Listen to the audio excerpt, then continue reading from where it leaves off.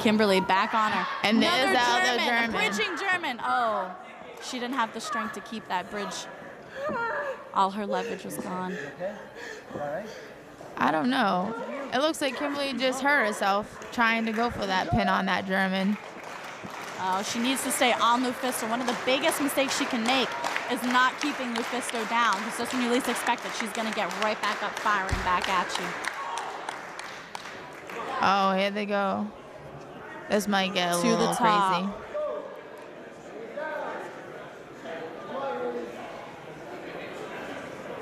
Oh my god.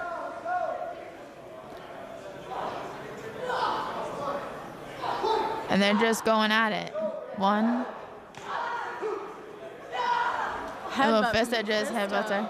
Oh man, isn't this like, oh, sh- oh,